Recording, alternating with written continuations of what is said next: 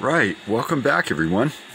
Well, another uh, Hasbro Disney Plus toy to review today and unboxing. This is the talking plush Mandalorian the Child from obviously the TV show. And this one has uh, some active things to it. It's electronic, it does some squeaking and baby cooing. Get it out of the box here and uh, let you guys see that firsthand, but let me show you the box. Goodness, the glare. Sorry, guys. Comes with, uh, I guess that's a frog, right? Some kind of off-world frog, and of course this little soup cup. Pretty cool.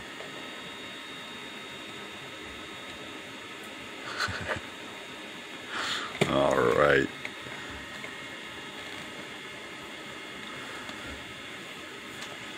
Of course, the box is modeled after his pram. So yeah, let's get it out of the box and see what it's all about. All right, out of the box. Pretty nifty. Uh, this is everything that comes with the box. You got the child, his soup bowl, and of course uh, the one-eyed, whoops, the one-eyed frog dinner. Kind of an off-world frog. Pretty neat. Cute face. So the instructions are pretty basic. Squeeze. So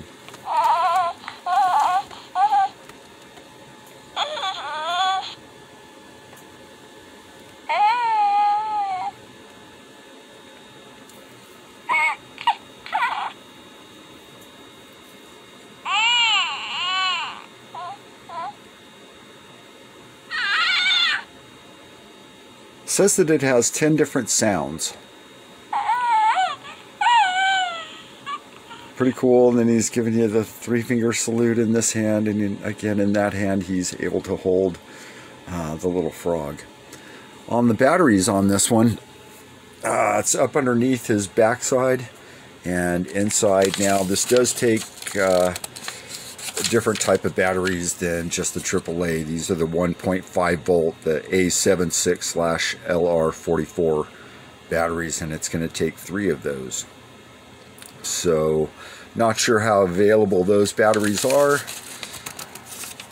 So know that that is that with that. And again, the instructions pretty darn simple. You just give the little guy a squeeze.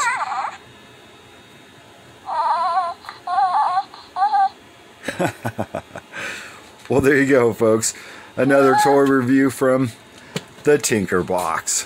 Thanks for joining us. We'll see you next time.